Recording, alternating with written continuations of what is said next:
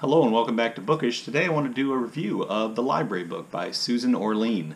Uh, I got this book uh, for Christmas. It's a relatively new book. It's been on BookTube quite a bit, but I was really excited to get it and read it, and I wanted to share my thoughts about that book uh, with you as soon as possible. So, ostensibly, this book tells the story of the 1986 fire at the Los Angeles Central Library uh, and then the aftermath of that fire and the investigation. So for you to read the top blurb at the back of the book, on the back of the book. This is from the publishers. It says, A dazzling love letter to a beloved institution and an investigation into one of its greatest mysteries from the best selling author hailed as a national treasure by the Washington Post. So, if you were to read that blurb, I think you would get the impression that this is a work of kind of uh, investigative journalism. Uh, with kind of a true crime element that the book is going to focus a lot uh, on the fire itself and on the investigation.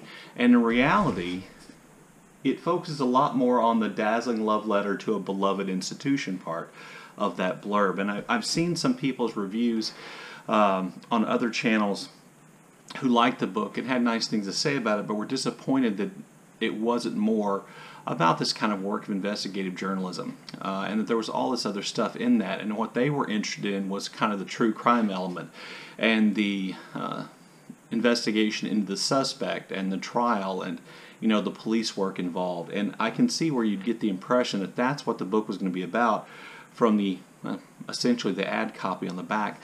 The truth matter is the library book is a work of immersion journalism, and this is really kind of what um, Susan Orlean does she becomes interested in a topic or a subject and she just becomes completely immersed in that. She spends years and day after day investigating every aspect of the subject that she can possibly think of uh, to kind of create this picture of this, oftentimes, these kind of subworlds that exist within our world, whether it's orchid collectors in the Orchid Thief or here with librarians and library patrons.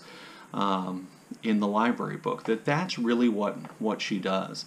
Um, so i think you know you need to go into the book knowing that's what it's about. I'm not trying to debunk the ad copy but i do think that it, it's it can be disappointing to think you're reading a book about one thing and end up reading a book about something completely different. So if you don't know susan or- orlean is a well-known uh, writer of nonfiction. She's a staff writer for the new yorker and she has been for wow, I think we're going on uh, three decades that she's been a staff writer for the New Yorker. Um, she's written seven other books. Our most famous other book was The Orchid Thief, which was made into a movie, which I think actually won an Oscar for Best Screenplay. Not that she wrote the screenplay at all. And I think one of the, my favorite things about Susan Orlean is that, that in the in the movie The Orchid Thief, she's played by Meryl Streep, and the the movie really takes liberties uh, with uh, her as a character, I think, and uh, with the plot, uh, in creating a movie plot around this kind of work of immersion journalism that Susan Orlean created. I think Susan Orlean's work is best compared to the work of Joseph Mitchell, who was also a longtime staff writer uh, for The New Yorker and who wrote a long series of kind of, I think, um, proto immersion journalism essays for The New Yorker, in which he explored all kinds of weird corners and characters present in New York City uh, during the 1940s and, and 1950s, and then developed you know the most famous case of writer's block probably in history, where he, after publishing his final essay, which I believe was Joe Gould's Secret, uh, he never published another work uh, in his life even though he went into his office at the New Yorker every day until he died, I believe, in 1996.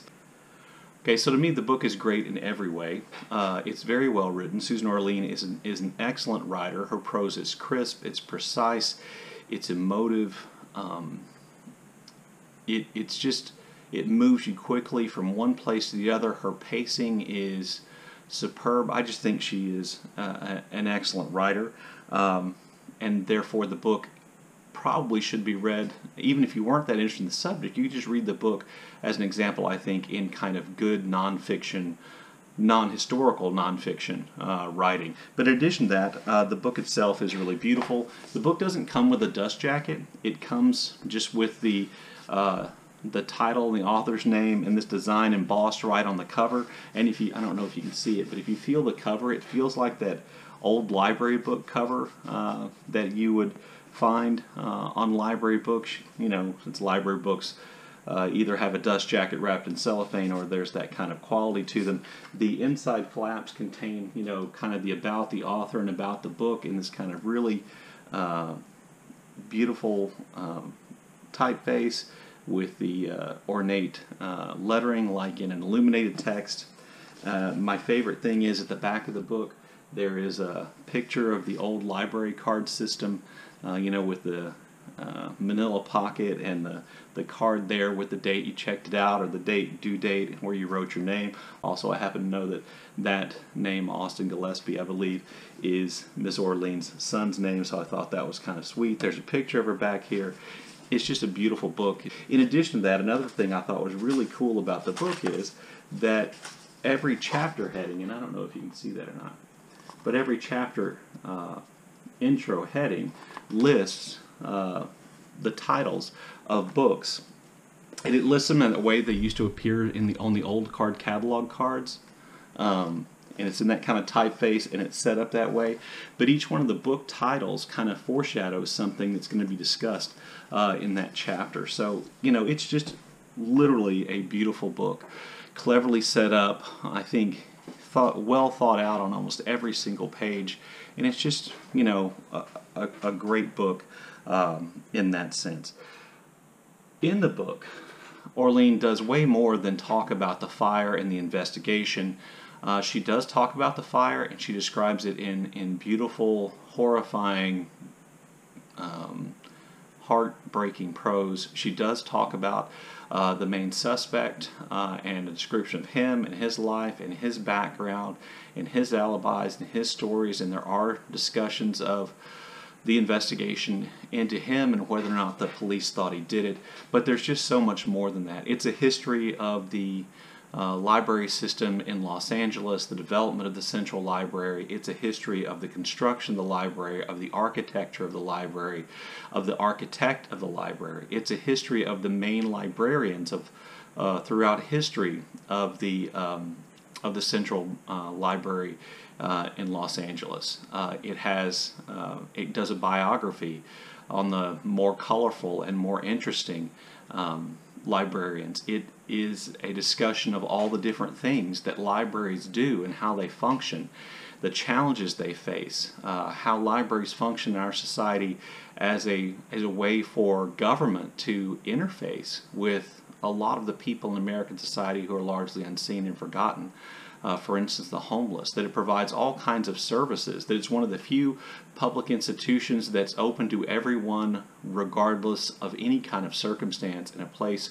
you know, where anyone can go. Um, and therefore, it, it, she talks about the libraries as a, an outreach center, as a way of connecting to these people and providing with services um, and with help. It's also um, a you know tribute to the importance of books and how special books are and how special uh, libraries are. It is just, just truly, truly a great book. And at the end of the book, I have uh, a renewed respect for librarians, a renewed understanding of why libraries are still relevant uh, in American society, and I have a renewed interest in renewing my library card and spending more time at my local library. So, this to me is a great book. Um, um, and I would encourage anybody who has any interest in good writing, in libraries, um, in the work of Susan Orlean, in just reading a good book, to pick this book up. Anyway, if you read the library book, let me know what you think in the comments section. And as always, thank you for watching.